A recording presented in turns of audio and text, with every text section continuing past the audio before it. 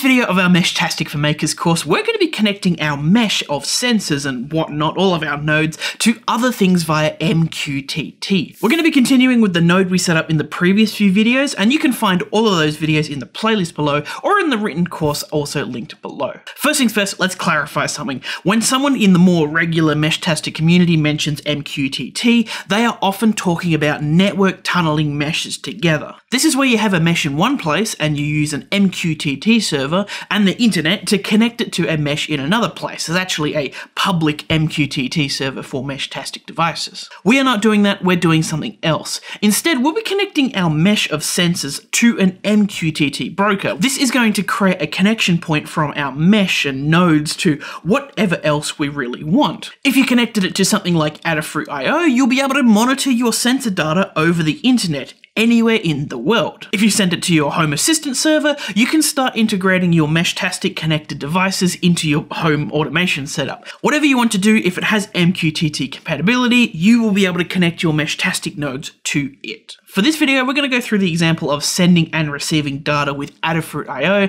but the method we use here can be used for other MQTT things, whatever you need. Now, the regular internet tunneling usage method of this uses the MQTT module in the Meshtastic client, which is actually extremely easy to use, but unfortunately, in our case, it's not going to work. As you might have guessed, we are going to be using the second microcontroller to do this instead. Very importantly, you will need, of course, to use a microcontroller that supports Wi-Fi connectivity. For our code along, we're going to be using the Pico W and MicroPython, but if you want to use another microcontroller and language, it's definitely possible as well. Alrighty, before we begin, we're going to need to install an MQTT library for our Pico, and we can do that by searching micropython-umqtt.simple. Make sure you have the same library. And now we are ready to go. All right, we are going to paste in the sample code, which of course you can find on the course site linked below.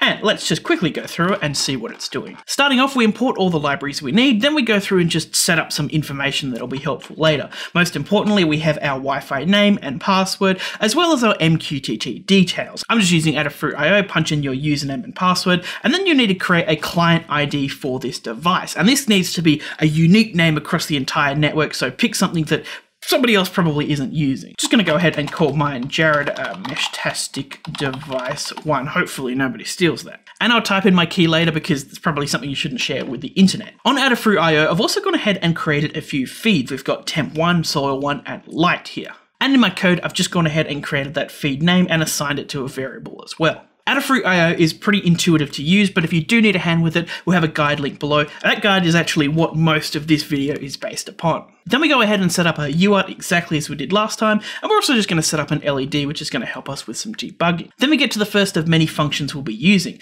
This one is simply one that connects your Pico to your local Wi-Fi network using the details we used before, and just to help when it's deployed in the field, it's going to flash that LED while it's connecting, and once it's connected, it'll be a solid green. Then we've got our process UART message, which has been in every code we've used before. This is just simply going to take the message and extract out the actual text we want. Nothing really different here. And then we have this MQTT subscription callback. And what this is going to do is whenever our Pico receives a message from our MQTT broker and something that it's subscribed to, it's going to do whatever we have in this function here. And just to start off with, we're going to send the message via UART. So when we receive a message from our MQTT broker, we're just going to broadcast it to the Meshtastic network using that UART write that we've been using before. Now here is where it gets a little bit tricky. We're defining an asyncio function. If you haven't used asyncio before, it's essentially a method of getting two separate bits of code to run at the same time. Here's our first asyncio function, and there's our second one. We'll just come back to them in a little bit, and then we actually start running our code. So we'll run the connect Wi-Fi function to connect your Pico to the internet, and then we'll go ahead and set up all of our MQTT information with everything we specified at the top. Then we'll go ahead and set up that callback function as the callback function, and that just means this is the function that we're going to use whenever we receive a message. And then we're going to connect to our MQTT broker and subscribe to the MQTT received topic, which is light. And then we simply use asyncio to run handle UART and handle MQTT at the same time. It's a very cool way of kind of running two things at once. So inside handle UART, we have a while true loop, and this is going to be pretty similar to what we've done before. We're going to check, is there a UART message available? And then we'll go through and sort it out and get it into that nice format we've been dealing with. And then we're simply going to check, If the message starts with soil 1, we're going to do something. And this is exactly like we've been doing before, controlling motors, sending it to the display.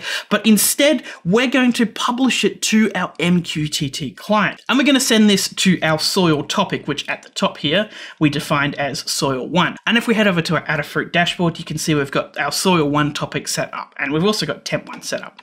And these are just the topics we arbitrarily created in Adafruit IO to send data to. After that, we simply go through and check, does it start with temp? And if it does, we'll send it to the temperature topic that we set up. Exactly the same thing, and if you want to have more things to be checking for, you can just copy and paste this entire thing again, like so. And instead, you might be looking for uh, humidity 1 or some other message, whatever you want. We've got examples of this from before. And if we run that code, we should see that it connects to the Wi-Fi, and it should connect to our broker real soon chugging along.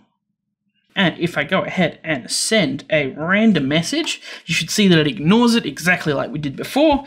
But if I send a soil one colon and then a number behind it, like so, it should publish it to our MQTT broker. And if I send through another simulated reading, like so, we can see Ooh, might take a second, that it updates on our dashboard. And now we can see our mesh and our data from some remote node that might not have internet connection coming through to our Wi-Fi connected node through MQTT to a dashboard or wherever we want to see it online. The second loop that we have running at the same time is this handle MQTT function. And while true, we're going to try and simply check for messages coming from our broker. And the rest of this is just error handling. But long story short, it just checks if a message has come through. And if it has come through, we're going to call this callback function and just write that message to UART. And then because our other Pico is set up to repeat whatever it hears to the Meshtastic network, it'll go from our broker to the second Pico, then to the Meshtastic Pico to the Meshtastic network. And then in our Adafruit IO dashboard, I've just gone ahead and created a button just to test to see what's going on. And if we go into settings, we can see how we've configured this. Edit block. Oh, next you can see that when the button is on, it's going to send light on, and when it's off, it's going to send light off, exactly in that same format that we've been doing so far, and you should change it to match whatever format you're using. So if we update that, and we save that layout, if I turn this on, we should see a message coming through that the light has been turned on. Like so. Beautiful. And if we flick it off, we can see light on.